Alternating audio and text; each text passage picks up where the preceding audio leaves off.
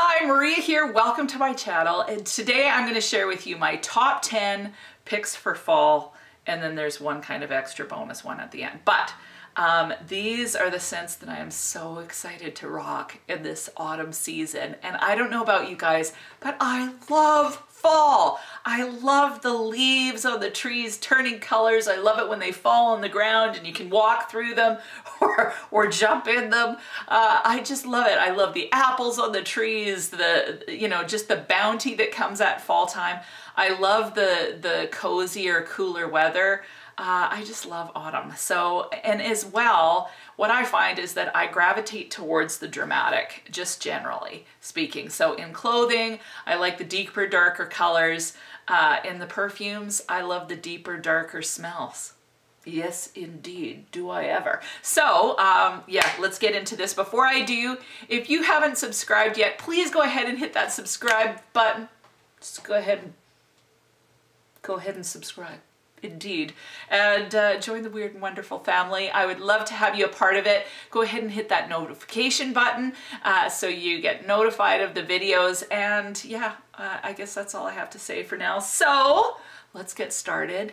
So my first of my top 10 is Kilian Princess. Now I just have the travel spray of this one.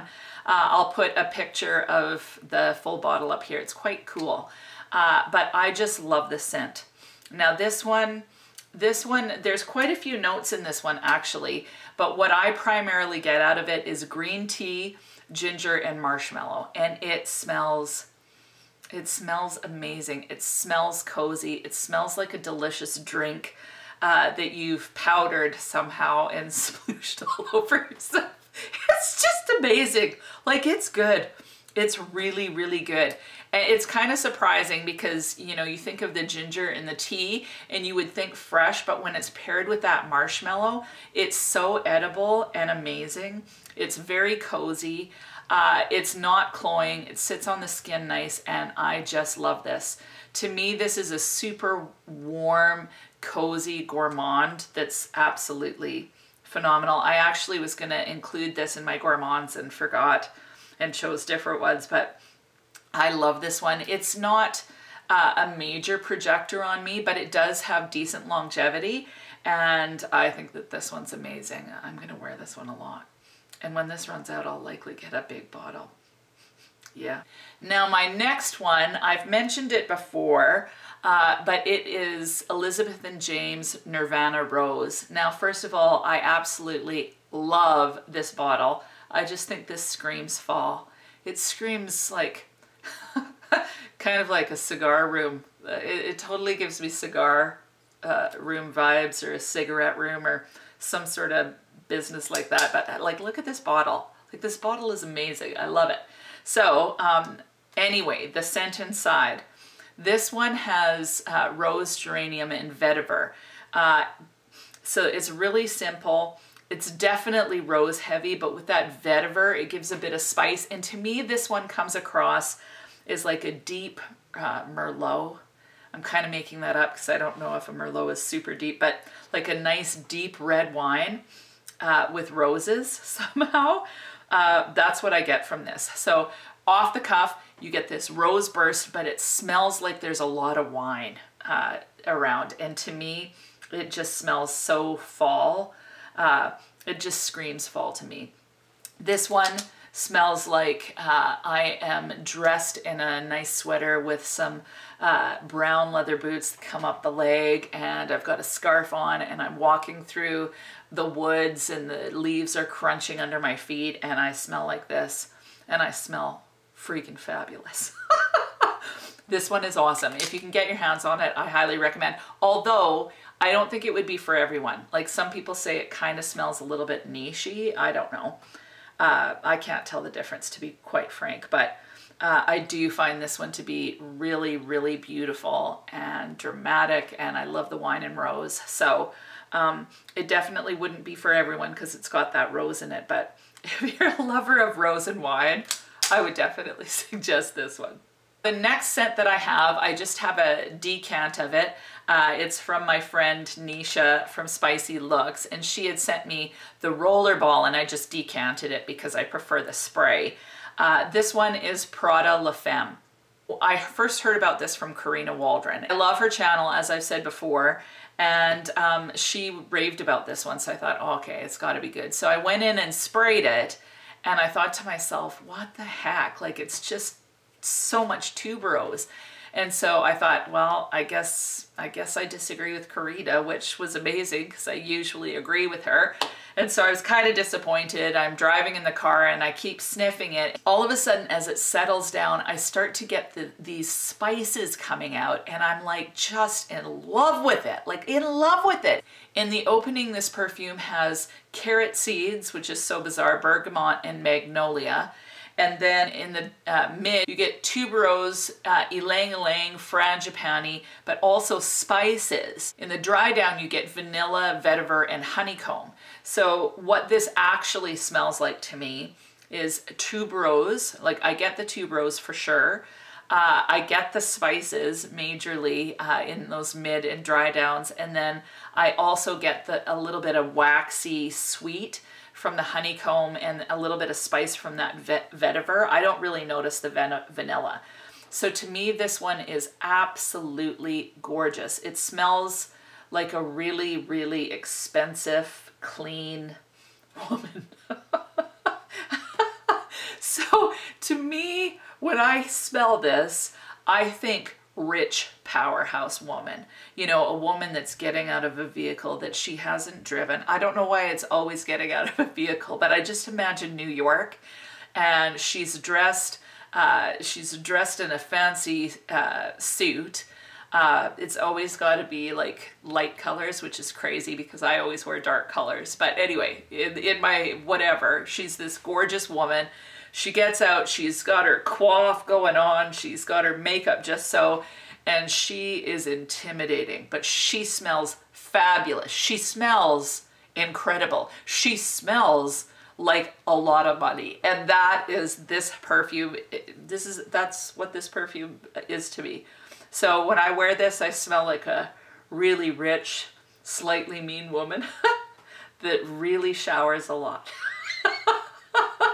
No, this one really, really smells good. And what I love about this one, honestly, uh, is the spices. As it warms up on the skin, I love that little bit of a kick of spice. So where you get the white florals to begin with that smell quite clean, uh, then as it dries down, you get that little hint of spice, that little hint of cinnamon. And to me, it's it's just amazing. So I love that one, Prada La Femme. For myself, I find that white florals uh, can be a little bit cloying, so I tend to want to wear them more in the fall and the winter. Uh, just because they're, uh, yeah, if, if not the cooler weather, then I find them too heavy. So I'm really excited to wear this one. Now the next uh, few uh, you guys are really familiar with, so I won't spend too much time on them. The first one is Alien. It, let's face it, Alien's amazing. I love this one. I would consider this one more of a day scent. To me, it's not too heavy to pull off during the day, especially during uh, social distancing season. So with the cooler weather, with social distancing, this one to me is fine for day. Uh, this one is jasmine, woody notes, and vanilla. This one is a powerhouse. Uh, it's It's got that sweet jasmine, but it's not like, um, this one is really clean white floral. This one is a little bit, a little bit more, I guess the word would be indolic, a little bit more um, sensual smelling. Um, so I, I like that a lot, but there still is a bit of a soapy vibe to this one, uh, which at first put me off. I'm like, ew, it's too soapy smelling. But now I think it's it's a sexy soapy, if that makes sense. Um, I just think it's amazing. So I am super pumped to wear this uh, a lot, actually, this fall. Now, the next one is her deeper, darker sister, and that is Alien Essence Absolue. Now, this one is getting harder to find, but I have a dupe coming, uh, so I will I'll keep you posted as to how close it is uh, because it's it's a decent price for sure. So this smells like alien, but as well you've got vanilla, myrrh, incense, things like that, which really amps up the resinous quality of this one. And it just, to me, smells So sexy, so amazing. Um, both of these, like if ever there was an alien, um, like what would it be? It would be a predator. So these are slightly predatorial. This one's sexy. This one is like way sexy. So if, if this was a predator, to me, I think of a panther, like, you know, where panthers kind of look like this, as if I can look like a panther, but you know how panthers, like they kind of, so ridiculous, but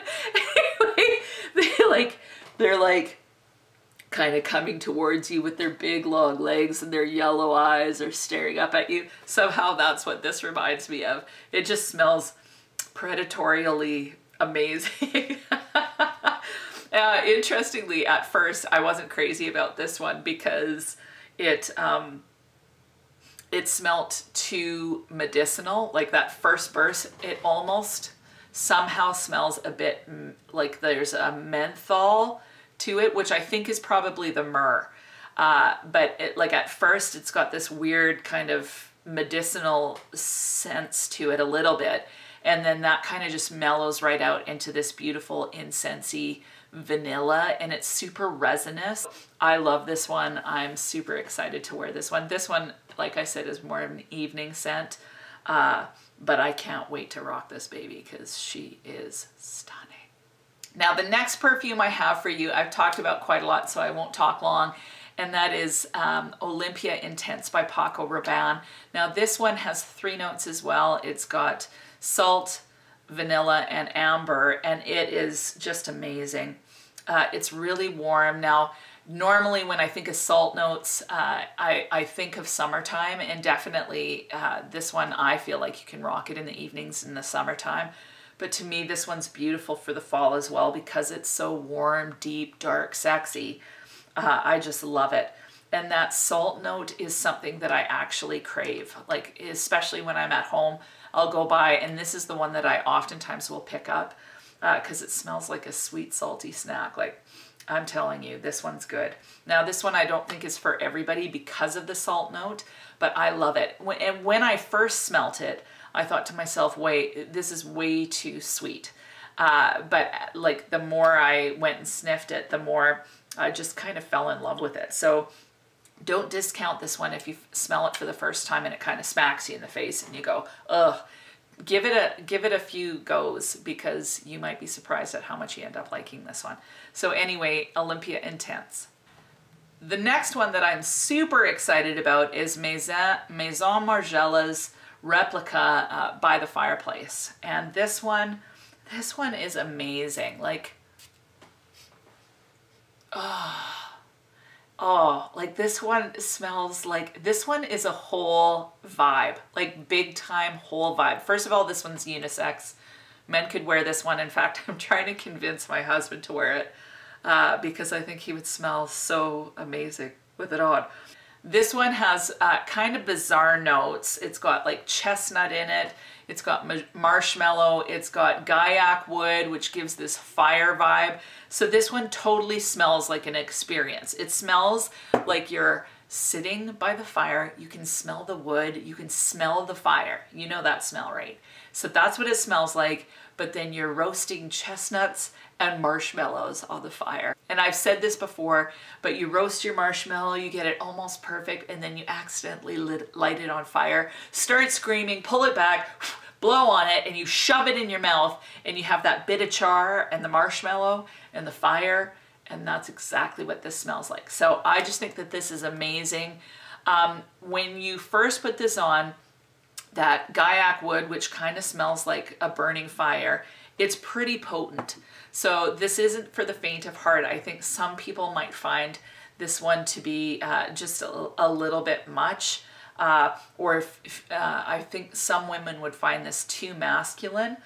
Uh, but I just think it's somehow like super deep and it's it's just cool to me. So the as as you wear it on your skin, the fire starts to die down, becomes a bit of an ember, and you get that warm, it's like a nutty marshmallow vanilla uh, that you're left with. And that little bit of fire stays the whole entire time you're wearing the perfume, but it really mellows out into this yummy marshmallow deliciousness. This one, again, totally unisex in my opinion. So not every girl's gonna love it, but uh, it, it's definitely worth a sniff because to me it's a whole, it's a whole vibe, man. Like it's a whole experience in this bottle.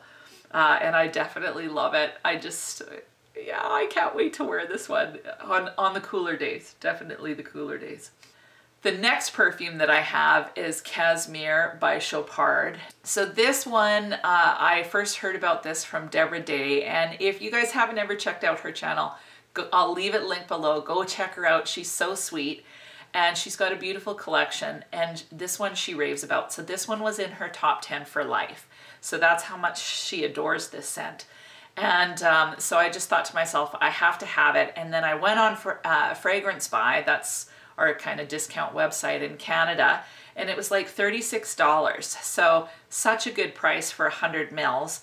And this perfume, uh, it's really interesting now. It was made in the 90s. So some people say it has that real major 90s vibe. I wasn't really into perfumes in the 90s too much, so I don't know. I can't tell that, I'm sorry. Like I'm, I'm just too newbie to know the difference between a 90s smell and a now smell really. Uh, but what I do get out of this is the a vanilla apricot. Uh, now there is a ton of notes in this, like it's just a mosh of notes. There's so many, it's, it's insane. But, but uh, primarily what you get out of this is a peachy apricot vanilla and I love it. Now, there's cinnamon in this as well, and that's one of the reasons why I wanted to get it, because cinnamon is one of my favorite smells. But I can't smell the cinnamon on this. Now, I sprayed it on my arm. No, I can't smell cinnamon. I smell that apricot continually uh, and the vanilla. But I, I unfortunately don't smell the cinnamon, but I really like this one nonetheless. And for whatever reason, I think I'm on a grandma kick because I talked about her the other day. She was like, honestly, she was one, I feel almost like crying now. Wow, I'm kind of a mess today. Uh, she was the sweetest lady. Like she, she just loved, she loved with her whole heart. Why am I bawling about this? This is so crazy. Oh, isn't it weird how things will just bring back memories? Like, you know, that's the cool thing I think about perfume is that you know, there's sometimes, you know, scents that really evoke a memory or emotion. Like for this one, this one just, you know, warm comfort, sitting by the fire, roasting marshmallows. Those are some of my favorite times. This, for whatever reason, reminds me of my grandma. I'm not sure why other than the fact that she always talked about apricots, but she always called them apricots and she'd always have dried apricots at her house. She also called almonds almonds.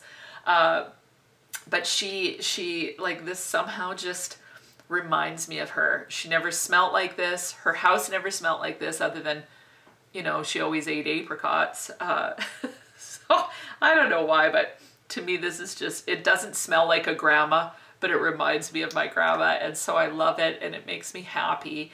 It's very sweet.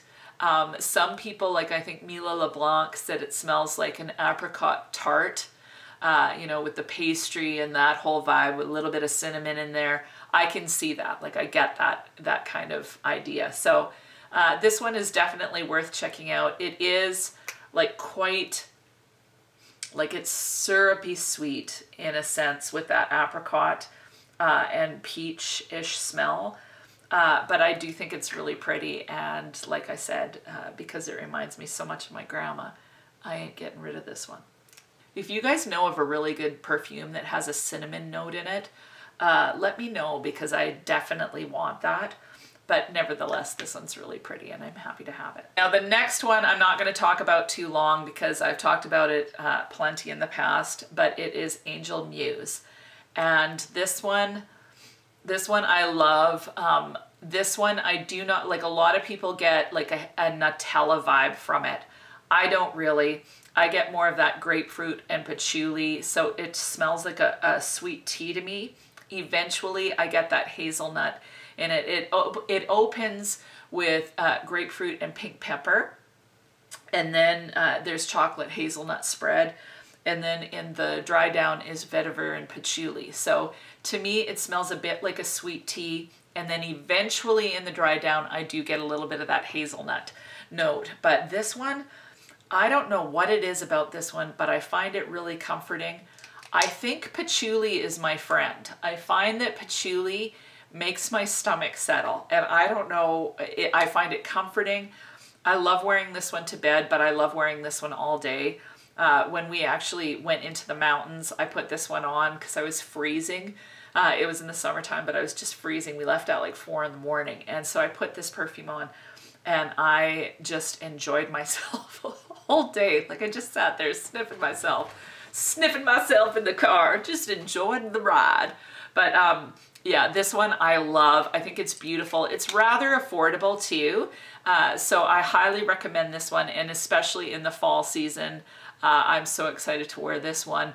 Um, if you find that you're not a huge patchouli fan uh, and find it too sharp, um, I would definitely also recommend Angel EDT. Uh, it has passion fruit in the opening. Uh, it's a little bit more fruity, a little less uh, patchouli, and it's quite beautiful.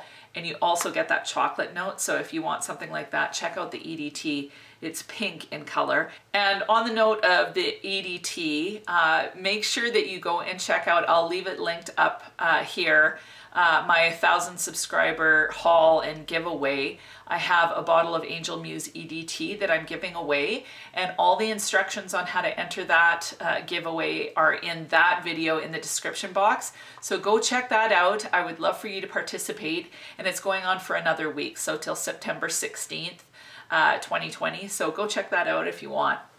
Now the last perfume of my top 10 is Michael Kors Starlight Shimmer. Now I bought this one, I went to, into the store, I smelt this one and I was instantly mesmerized by, by its beauty. Like instantly I loved it and I, I just, I had to have it. So I bought it and I put it, I had sprayed it on me as soon as I got in the car. I spray myself with it and I'm driving and I'm thinking, what does this smell like? Like what, what does this smell like? And then I realized that it smelled like Shaghaf Oud or Oud Bouquet, but kind of a lighter, uh, tamer version of it. So this one has a rose, saffron, and amber. Uh, but to me, it smells a little bit oudy, but a very light oud. So to me, this one is a great perfume uh, for a daytime if you like that kind of rose, amber, like it, it, it's really quite sweet. So it, it smells like it's got vanilla in it. It smells, it just, uh, it just smells delicious. I, I just love it. But it's a, it's, very similar to Oud Bouquet or Shaghaf Oud, but a lighter version. So if you find that one too heavy, uh, this is a lighter, I would say sweeter version of that.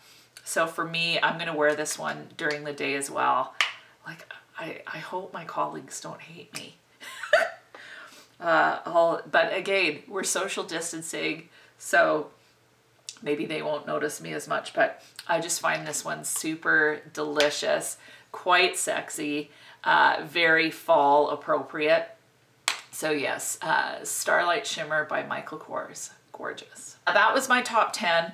I have a plus one and it's not a perfume, but I'm so in love with it and I have to mention it to you guys. And it is Sugared Cherry Crisp by Bath & Body Works. And maybe that's super cheese ball, but this thing smells so delicious. I can I basically want to eat it. Like I want to squirt it in my mouth and I want to eat it. It smells that good. It's a deep dark cherry. Now what it says on the back is bright cherry delight, crumbled graham cracker, and spun vanilla sugar. And I can say yes to all those things. That's exactly what this smells like. Oh, it's so delicious and it gives me like that Tom Ford Lost Cherry like you know how much I'm in love with that one and want it so bad but it's too much money and it's not long it doesn't last long enough. So this actually gives me that same kind of vibe. So I'm using that for now. I'm mixing this honestly with the only one intense because for whatever reason I just love the cherry with the coconut and it smells like a dessert. I smell like I basically want to I want to lick myself. Like seriously it smells really good so I love this. I've got the shower gel. I've got the lotion. I think I'm going to go back and get a whole other set of it.